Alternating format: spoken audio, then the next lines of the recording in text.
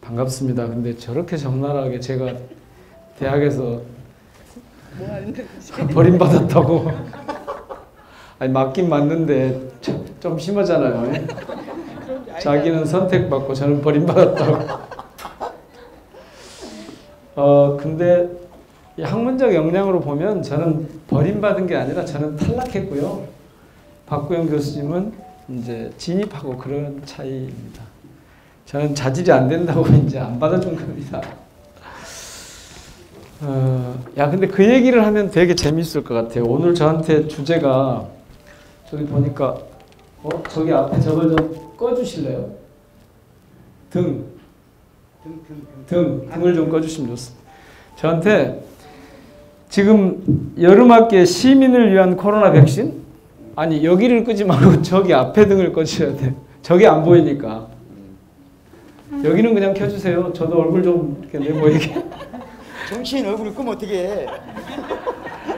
그러니까 시민자유대학 여름학기 시민을 위한 코로나 백신. 그러니까 코로나를 이길 수 있는 그 무엇인가가 지금 오늘 제가 드려야 될 말씀인 거죠. 그렇죠. 시간 어. 있으면 켜준대 여기. 한번 끄면 아, 여기가. 예.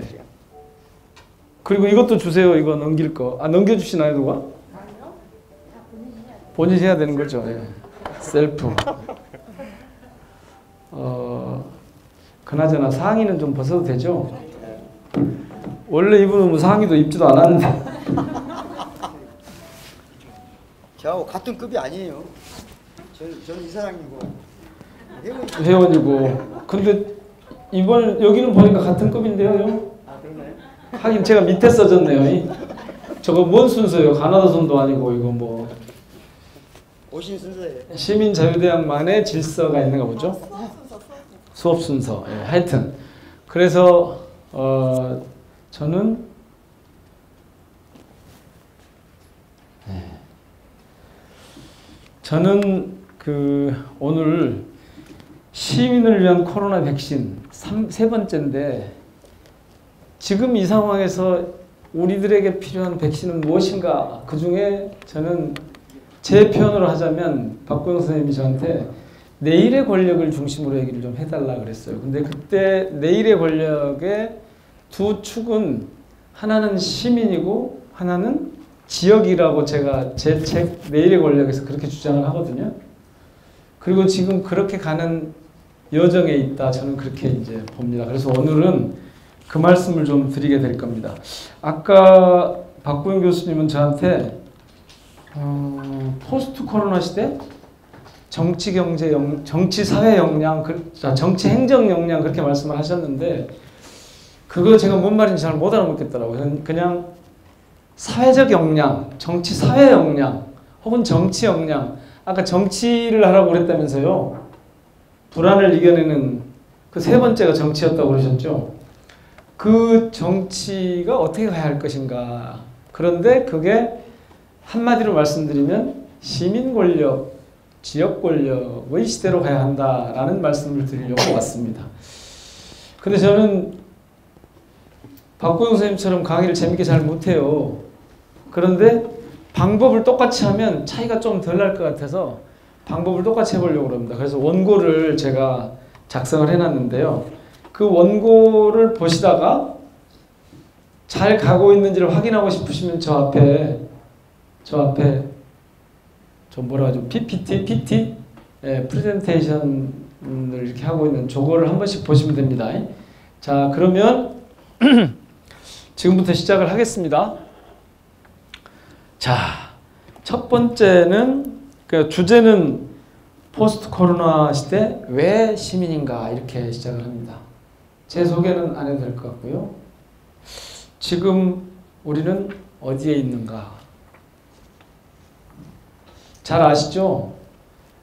문화 지체라는 개념을 우리에게 만들어준 예, 옥구번이라고 하는 저는 옥구번이라고 윌리엄 옥구번이라고 있는데 오구번이라고 써놨네요. 저런 사람이 있습니다. 어, 저 사람이 이렇게 얘기하죠. 사회가 기술의 변화를 따라가지 못한다면 문화 지체 현상이 발생할 것이다. 이 사람의 책 에서는 문화 지체라고 하는 게 한마디로 얘기하면 이런 겁니다. 물질 문명의 속도, 변화 속도를 정신 문화가 따라가지 못하는 것. 그래서 생기는 렉. 이거를 문화 지체라고 그렇게 얘기합니다. 그냥 개념적으로 정의를 해보면 문화 지체는 법, 제도, 정치, 규제 등의 기술 발전 속도에 보조를 맞추지 못하고 뒤처져서 발생하는 부조화 현상을 말한다. 이렇게 이제 돼 있죠. 그렇습니다. 저는 우리 사회를 진단하는 오늘날 우리 사회를 진단하는 특히 정치 사회라고 했을 때 이 현상을 현재의 상태를 설명하는 키워드로 요즘 저는 두 가지를 쓰는데 그 중에 하나가 지체입니다. 지체. 저 지체는 이를테면 social lag 혹은 political lag 이렇게 표현할 수 있을 겁니다. 그냥 cultural lag에서 그대로 가져왔습니다. 그런데 저 렉이라는 개념은 말씀드린 것처럼 물질 문명과 정신 문화 사이에 변화의 속도 차이 때문에 발생을 하는 건데 social lag은 그러면 뭐냐? 그래서 얼른 생각해 보는 것이 제가 생각해 본 것이 또 다른 지체라는 개념입니다. 여기 의학이나 생물학 하시는 분이 혹시 계신가요? 혹시 아 선생님 리타데이션이라는 개념이 있죠. 생물학에 retardation. 퇴화라고 합니까? 아 제가 알고 있는 개념하고 조금 다르군요. 그러니까 성장이 제대로 이루어지지 않는 상태를 말씀 말하는 거잖아요. 예. 저는 그것을 지체라고 번역했습니다. 생물학적으로는 퇴화 혹은 지체라는 리타데이션이라는 개념이 금방 드러납니다. 금방 보면 알 수 있어요. 왜냐하면 물리적으로 쫙 드러나 보이니까. 그런데 cultural, social lag이라고 했을 때 혹은 retardation이라고 했을 때는 잘 보이지 않습니다. 그리고 그것은 굉장히 파편화돼서 곳곳을 이렇게 떠다니기 때문에 이것을 이해하는데 그 이것을 인지하는 데는 조금 더 관심이나 집중 같은 것이 필요하게 됩니다. 어쨌든 저는 오늘 이 지체라는 키워드로 오늘의 사회 현상을 상태를 사회 상태를 좀 설명해 보려고 합니다. 그냥 이걸 한마디로 말씀드리면 오늘날 우리가 운영하고 있는 사회적인 제도, 정부, 정치 이런 것들이 시민들의 요구와 혹은 시대 정신이라고 우리가 얘기하는 다수의 시민들이 요구하고 있는 이 시대 정신과 갭이 생겼다는 겁니다. lag이 생겼다는 겁니다. 리타데이션이 생겼다는 겁니다. 그러니까 시민사회의 욕구 혹은 시대 정신은 이만큼 가 있는데 이것을 관철하거나 실천할, 실행할 정치, 제도, 정당, 정부, 사회 단체 이런 것들은 그보다 못 미치고 있습니다. 동의가 좀 되신가요? 잘 안 되신가요? 이게 동의가 되면 오늘 제가 드리는 말씀이 쏙쏙 전달이 잘 될 거고 이게 동의가 잘 안 되면 전달이 잘 안 될 수 있습니다. 그런데 저는 지난해 말부터 우리 사회가 이중지체 현상에 빠져 있다 이렇게 얘기합니다. 이때 이중지체는 부문 간의 여러 지체가 지체만을 말씀드린 지체를 말씀드린 것이 아니라 그런 사회적 지체 현상이 곳곳에 있는데 또 하나 중요한 지역 간에도 이 지체 현상이 있다라고 보는 겁니다. 이것은 지체라는 표현보다는 어찌 보면 차이라고 해야 될지도 모르겠습니다. 그것을 제가 조금 이따가 총선 결과를 설명하면서 말씀을 드리겠습니다. 사회 지체, 지역 간 지체, 사회적 지체와 지역 지체, 지역 간 지체, 지체라고 하는 것이 이중적으로 지금 규정하는 게 오늘날 우리 사회의 상태다. 그렇게 보는 겁니다. 이걸 가지고 민주주의든 문화든 정치든 설명해 보려고 하는 것이 제 방식입니다. 자, 아시는 것처럼 이번 총선에서 시민들은 저가 보기엔 그렇습니다. 국회가 그동안 훨씬 더 시민들의 요구에 따라가지 못하던 상태에서 조금은 더 가까워질 수 있는 기회를 줬다. 이렇게 말씀드리면 지그당한테 많이 찍어줬으니까 저렇게 얘기하는 건가? 라고 하실 수 있겠습니다만은 사실 저는 바로 그 현상에 주목합니다. 왜 민주당은 표를 많이 얻었을까? 의석을 많이 얻었을까라는 겁니다.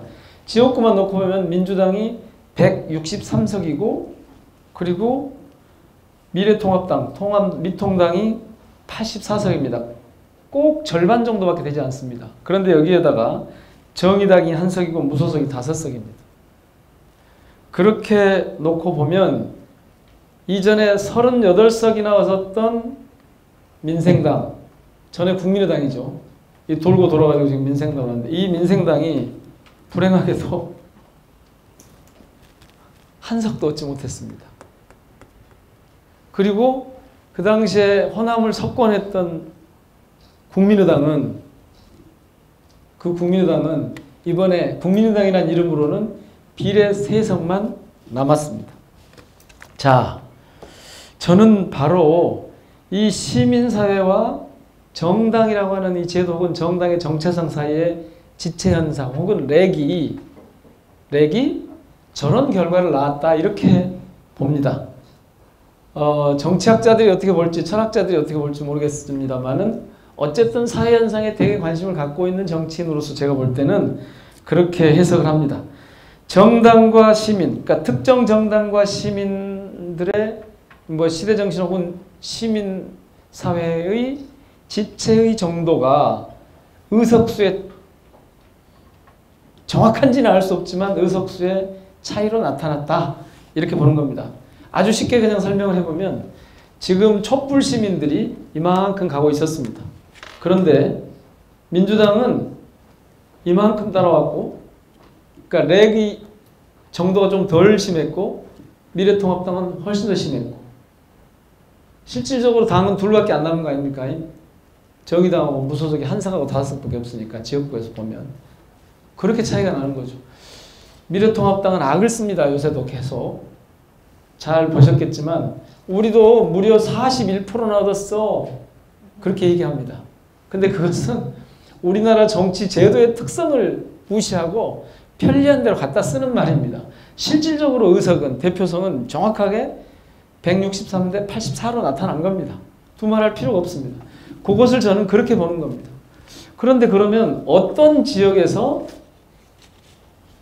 민주당은 더 많은 표를 얻었고 더 많은 의석수를 얻었고 어떤 지역에서 미래통합당은 더 많은 의석수를 얻었는가? 저는 그것을 보면 이 지체의 정도가 지역 간의 차이가 있다고 봅니다. 이것을 오해하면 지역 간의 다른 차별로 얘기하면 그거는 완전히 이제 헛다리를 짚은 겁니다. 그러니까 이번 총선 결과를 놓고 지역주의가 다시 출현한 거 아니냐라고 해석하는 인간들은 정말로 그런 기존의 왜곡된 지역주의 정치 논리에 기대서 자신의 생존을 지탱해오던 사람들입니다.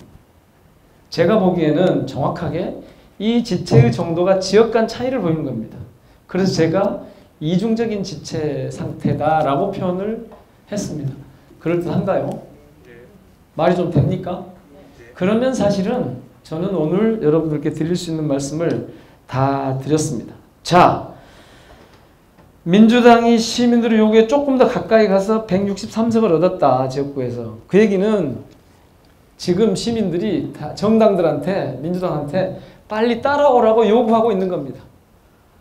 어제도 저는 의총에 잠깐 들어가 있다가 협상을 한다고 그래서 대기를 몇 시간 하다가 아이고 안 됐다고 결렬됐다고 가라 그래서 이제 끝나고 저녁에 이제 왔는데요. 광주에서 왔는데 압도적인 승리를 안겨준 민주당이 지금 주춤주춤하고 있다고 욕을 시민들이 촛불 시민들이 뒤지게 하고 있는 거죠. 욕 많이 하셨죠? 뭐하냐 180석 163석 지역구 줄 때는 그냥 그것은 불도저야 그냥 뭘 그렇게 이리저리 따지고 막 그래 근데 그러고 싶은데 그게 또 제대로 안 되는 게 있습니다 보니까 제가 지금 지난 주말까지 참았는데 다음 주에도 그러면 제가 화를 내려고 그래요 드디어 출발합시다 아니 지금 승객들을 태우고 언제부터 출발하라고 지금 하고 있는데 출발 안 합니까 이제 출발하자고요. 이렇게 제가 지금 얘기를 하려고 합니다. 출발해야 되겠죠? 네. 한 달간 놀았는데 세비는 나왔어요.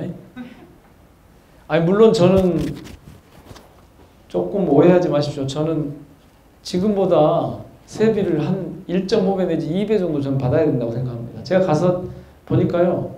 거의 아침마다 제가 7시 반만 되면 시작을 합니다. 이런 데서 모여가지고 공부부터 시작해서 혹은 협의부터 시작해서 하루 종일 하더라고요. 그래가지고 저녁 때까지 해요. 그러니까 대략 보니까 보통 제 노동 시간이 한 12시간쯤 되는 것 같아요. 그럼 1.5배 줘야죠. 지금보다. 그런데 이제 어떤 의원들은 세비를 출석 안 하면 세비를 깎자고 지금 그러더라고요.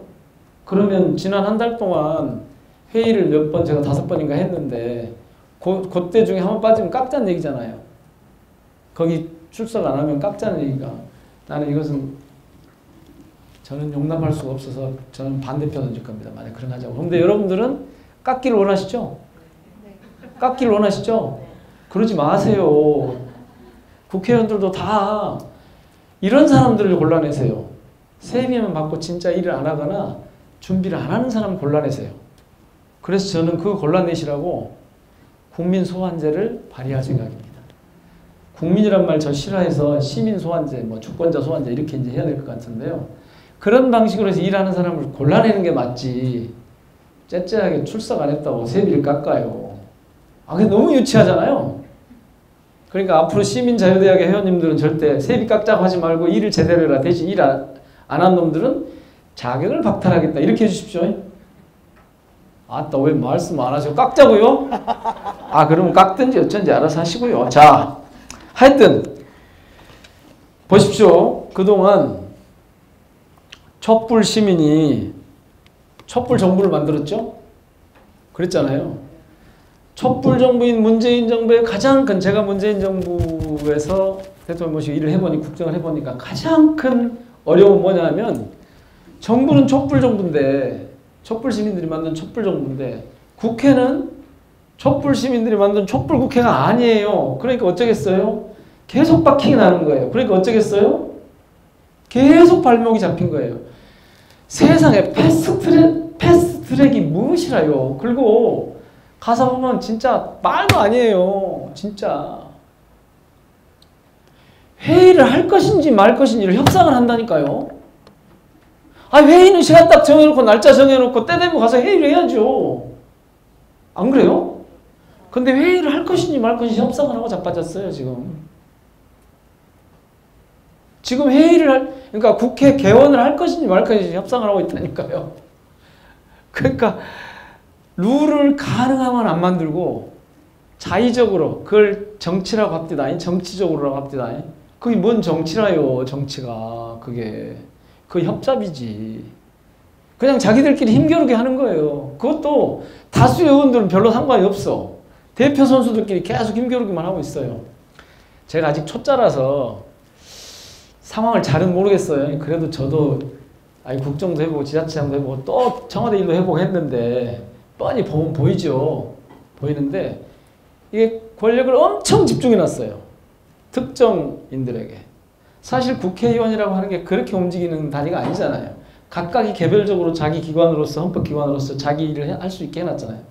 그런데 언제부터 국회를 개원을 할지 언제 상임위를 구성할지 이런 것을 안 정해놓은 거예요. 룰이 없는 거예요. 그냥 어떻게 정하냐면 옛날부터 해오던 관행 이 관행이 법 위에 있어요. 제가 보니까 아니 법이 없으니까 그리고 이것을 갖고 지금 협상이라고 하는 거예요. 계속 만약에 개원은 몇 월 며칠 몇 시에 한다. 그뭐 누가 몇 석을 얻든지 상관없이 상임위는 이러이렇게 꾸린다. 이런 게 딱 정해져 있으면 어쩌겠어요? 전 필요 없잖아요. 그냥 그대로 꾸, 꾸리면 될 거 아니에요. 왜 이걸 안 정해냈을까? 이게 제가 국회 가서 제일 궁금한 대목이에요. 저는 알아요. 근데 말은 지금 안 합니다. 지금은 조금 더 있다가 준비를 좀 해가지고 할 때가 되면 세게 해보려고. 하여튼 자 촛불 시민이 촛불 정부를 만드는데 이 촛불 정부가 촛불 아닌 국회, 촛불 국회 아닌 국회 때문에 계속 발목을 잡혔어요. 그래서 이번에 압도적인 다수당을 만들어줬다. 이 말은 촛불 국회로 이제 만든 거예요. 그래서 아까 말씀드린 그 지체를 이제 그만 좀 하라고. 그리고 그 발목 잡기 좀 그만하라고. 그래서 나온 말이 일하는 국회라는 말인 거거든요. 일 좀 하라고. 그런 겁니다. 지체를 끝내라는 뜻이다. 촛불 국회를 만들었다는 얘기는 그러면 대체 이 지체를 끝낼 힘은 어디에 있는가? 이게 제가 오늘 말씀드릴 요지입니다. 그리고 저는 그것이 바로 여기에 있다고 봅니다. 아까 말씀드린 것처럼 이 지역 간 지체의 차이, 지체 정도의 차이, 시민 그리고 그것을 뒷받침하는 자치, 시민과 지역과 자치라고 하는 이 세 개의 키워드에 있다고 생각합니다. 요, 요. 자, 그런데 우리는 지금 코로나19하고 같이 살고 있습니다. 그래서 이 코로나19와 시민 역량을 살펴보지 않으면 안 됩니다. 시민, 지역, 자치라고 하는 이 컨셉 혹은 가치를 놓고 이 코로나19와 어떤 연관이 있는가 이걸 좀 살펴볼 필요가 있습니다.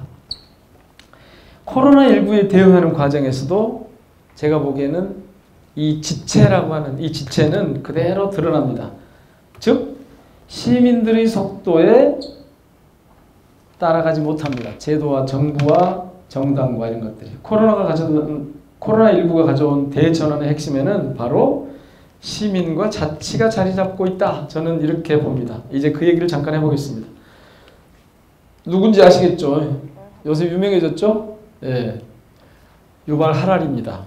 유, 유발 하라리가 3월 20일이죠. 3월 20일이면 우리나라의 코로나가 이쪽저쪽 한지 한 달쯤 되는 때입니다. 이때 FT 파이낸셜 타임즈라고 아시죠? 이 파이낸셜 타임즈에 코로나 바이러스 이후의 세계 라고 하는 기고문을 싣습니다.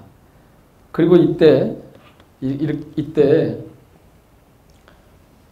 두 개의 타입을 제시를 합니다. 두 개의 타입을 제시를 합니다. 하나는 중국 타입, 하나는 한국 타입.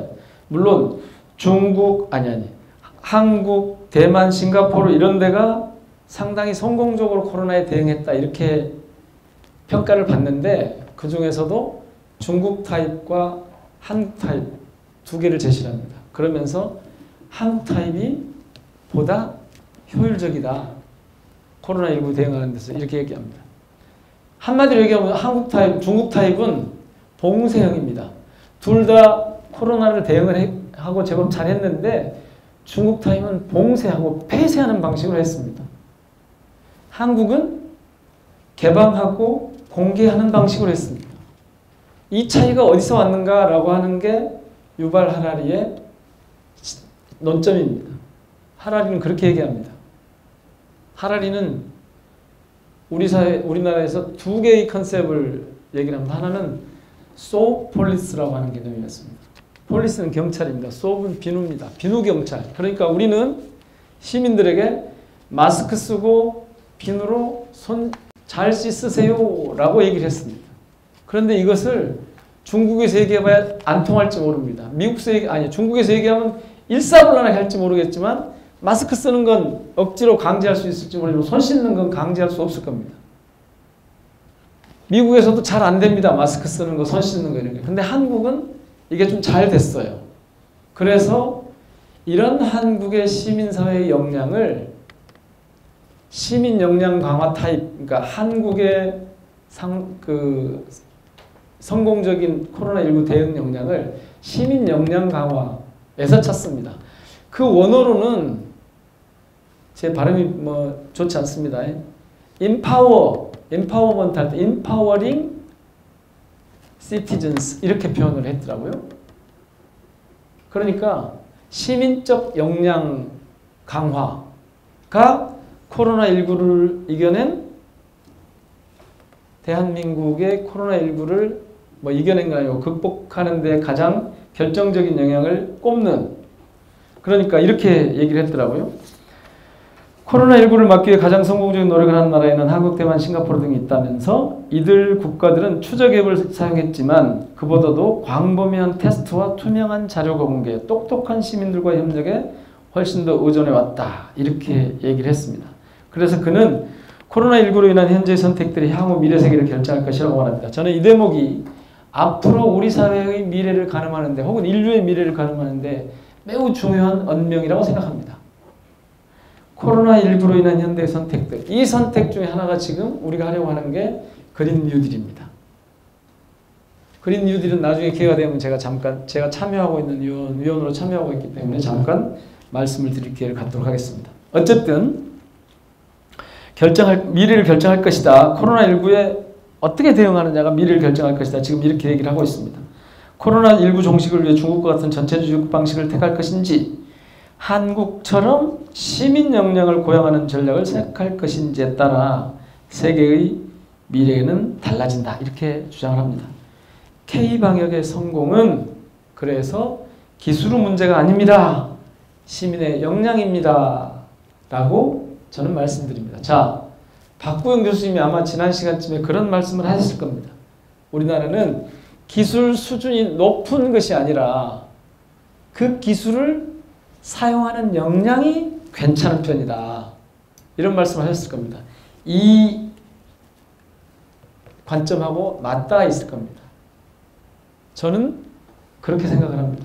그래서 사실 기술은 첨단인지 아닌지가 중요한 게 아니라 적정 기술인지 아닌지가 훨씬 더 중요할 수 있습니다. 물론 첨단 기술이 있어야 계속 앞서가야 적정 기술 여부도 더 폭넓게 확보가 될 수 있죠. 그래서 이 적정 기술이라고 하는 점에서 한국이 상당히 뛰어나, 뛰어나다는 거고 특히 사회적인 이슈들이 등장했을 때는 바로 이 시민 역량이 그런 차원에서 발휘될 가능성이 크다. 저는 그렇게 봅니다. K방역의 성공은 기술의 문제가 아니다. 시민의 역량이다.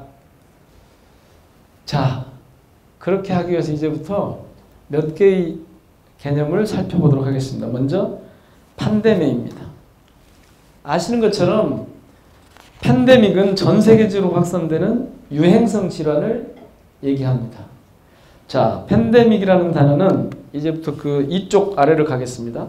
고대 히라버의 기원을 두고 있습니다. 고대 히라버에서 팬은 다 아시는 것처럼 모두입니다.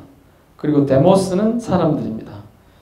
이 오스 대신에 오스 대신에 무엇 무엇과 관련된 것이라는 뜻을 가진 익 영어에 익을 붙였습니다. 그게 팬데믹입니다. 결국 팬데믹은 모든 사람과 관련된 일이 됩니다.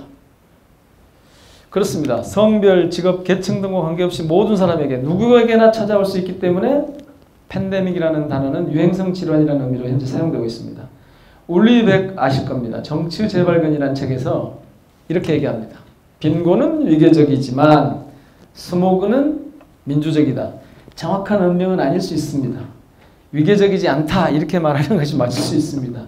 아마 이때 민주적이라는 말은 골고루 평등하게 뭐 이런 뜻 정도로 사용됐을 겁니다. 물론 빈곤 계층이 팬데믹과 같은 위험 상황에 더 어려워지는 것은 너무나 분명합니다. 사회적인 위기는 늘 약자들로부터 공격을 시작합니다. 약자들에 대한 공격부터 시작하게 되어 있습니다. 그런데 이 팬데믹은 그래 모든 사람에게 무차별적이다. 이 점에서 똑같습니다. 국회의원도 걸리고 총리도 어디서 걸립니다.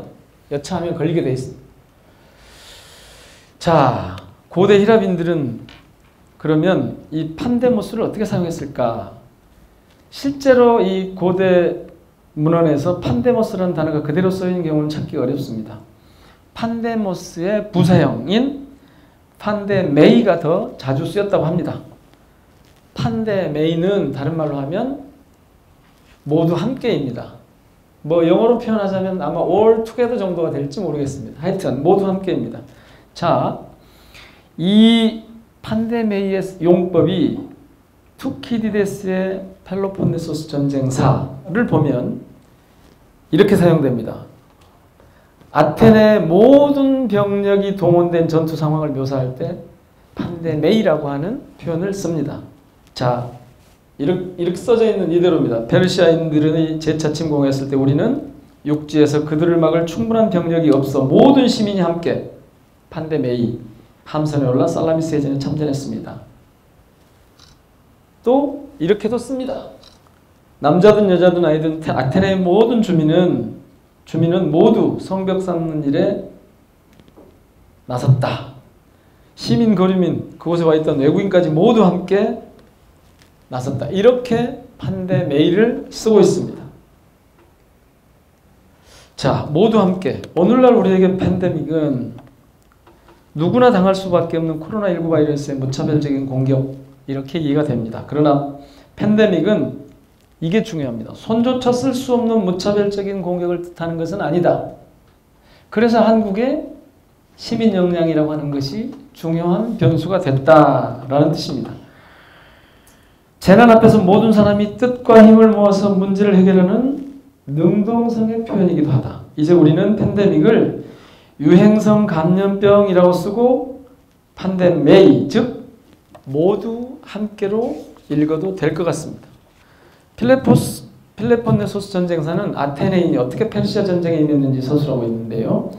아테네 사람들은 마라톤 평원에서 모두 함께 페르시아 기병대의 공격에 맞섰고 살라미스 해전에서 모두 함께 전함에 올라서 적군을 막았습니다. 신분과 지위에 관계없이 모두 함께 평등하게 전쟁에 임했던 아테네인들은 이후에 민중 권력 즉 데모크라토스를 형성하게 됩니다. 기원전 5세기 아테네 민주주의 데모크라티아가 이렇게 시작된 겁니다. 그런데 이 판데메이의 경험은 고대 아테네에서만 일어난 일이 아닙니다. 우리의 역사는 이 판데메이의 연속이었습니다. 잘 아시는 것처럼 1894년 전봉준이 이끄는 동학농민군이 고부에서 봉기했습니다. 동학은 최재우가 창시한 신흥종교이자 우리 교류의 역사 문화적 바탕에서 나온 민족 종교입니다. 이대 교주 최시영은 저렇게 말했습니다. 사람을 한울처럼 섬긴다. 사천여인이죠. 푸른 폭이 나무 한 그루에도 모두 한울이 있다. 이렇게 설파를 했습니다. 오늘날의 생태 철학과 일맥상통한다고 저는 그렇게 봅니다. 동학의 교리는 한마디로 말씀드리면 당시에 신분 질서를 부정하는 급진적 사상이었습니다. 그렇기 때문에 조선 정부의 탄압을 피할 방법이 없었습니다. 최재우가 사형당한 후에 네 차례 걸친 교조 신원운동이 일어났고 1893년 보훈 집회에서는 무려 2만여 명이 운집했습니다. 그리고 1894년 동학농민 전쟁이 발발합니다. 동학농민군은 부안, 정읍, 흥덕, 고창을 점령하고 잇따라서 영광 한평 장성을 지나 북상해 4월 27일 전주성을 점령했습니다. 저기 장성 가시면 동학농민혁명 전적지가 있죠. 거기 가보셨어요? 저는 대한민국에서 그만큼 큰 죽창을 본 적이 없습니다. 아, 안 보셨구나. 예, 하여튼 거대한 죽창과 농민군이 조형물이 있습니다. 아주 가깝습니다. 여기서 조선 정부는 당연히 당시에 다른 방법이 없었겠죠. 청나라에 구원병을 요청했고 일본군은 군사를 파견했습니다. 청나라와 일본의 군사전을 맡겨 동학농민군은 5월 7일 정보협상에서 전주 화약을 맺습니다. 늘 이렇게 화약을 잘못하면 그때부터 탈이 납니다. 이후 전라도 각지에 폐정계획을 위한 일종의 행정기관인 집광소를 설치했고 민주적인 자치가 시작되었습니다.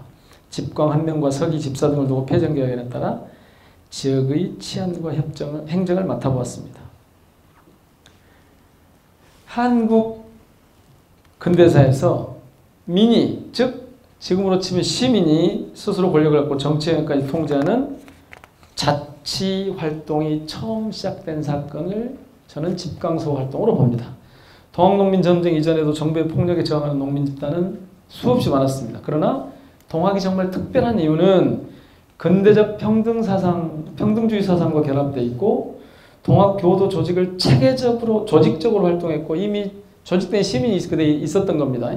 집강소라는 자치 조직을 꾸려 활동했다는 사실입니다. 그래서 우리 역사에서 최초로 시민이라고 부를 수 있는 주체는 바로 동학농민전쟁에 참여한 농민들이다. 라는 게 제 생각입니다. 다른 분들도 이렇게 보는 분들이 있는 것 같긴 한데요. 하여튼 제가 어느 책에서 이렇게 정리를 합니다. 동학농민전쟁 이후에 시민은 다시 묻혔습니다. 일제치하 조선인들은 모두 황국 신민이 되었습니다. 이 황국 신민으로부터 벗어나자고 한 게 사실은 YS가 국민학교를 초등학교로 바꾼 겁니다. 잘 전에도 제가 한번 말씀드린 것 같은데 국민이라는 개념은 대한민국에 밖에 없습니다. 대한민국에밖에 없. 다른 데서 혹시 찾아오시면 제가 아이스크림 하나씩 사드리도록 하겠습니다.